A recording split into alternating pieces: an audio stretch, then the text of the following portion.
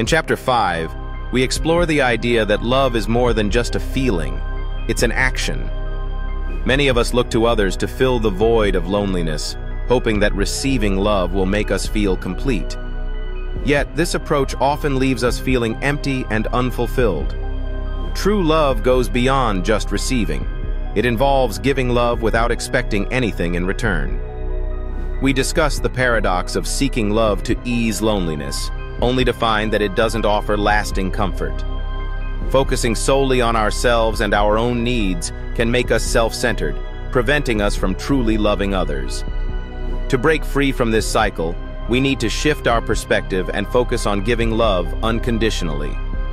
Learning to love ourselves first lays the foundation for loving others. It's important to understand that we can't give what we don't have. Admiring someone's appearance or making sacrifices doesn't necessarily mean we truly love them. Love requires selflessness and genuine care for others. The key to gaining love and easing loneliness lies in loving others without expecting anything in return.